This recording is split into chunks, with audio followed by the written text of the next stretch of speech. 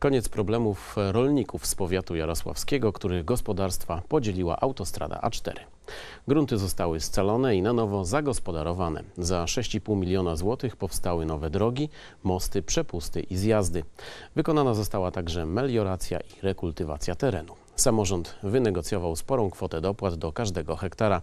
W efekcie właściciele gospodarstw mogą dojechać do swoich pól drogami.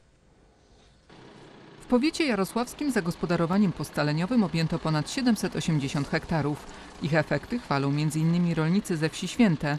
Mateusz Sanocki gospodaruje tu z ojcem na ponad 240 hektarach.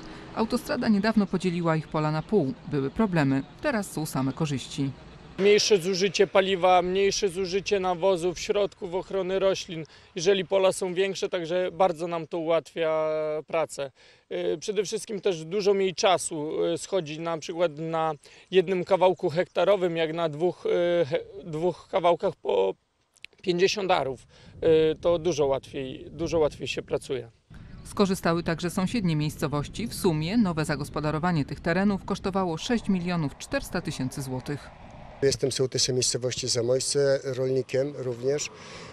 Drogi scaleniowe w naszej miejscowości na pewno w znacznym stopniu ułatwiają życie rolnikom. Jest to oszczędność czasu, a także sprzętu rolniczego, no, nie, nie, nie, bardzo drogiego często. E, oprócz tego firma, która to robiła te drogi, no, dobrze się spisała. Zostało zrobione odwodnienie e, rowu, autostrady. Poszerzono, pogłębiono, porobiono kaskady. Oprócz tego przybudowano przypusty, które ograniczają spływ wody. I takim ważnym jeszcze elementem było położenie e, nawierzchni około 300 metrów. I teraz mamy taką drogę wzdłuż autostrady e, techniczną, która nas połącza z drogą wojewódzką. Tak wygląda ta nowa trasa równoległa do autostrady. Skraca drogę do Przemyśla o 4 km. Postaleniowe inwestycje w przypadku intensywnych opadów wiele rodzin ratują też przed podtopieniami.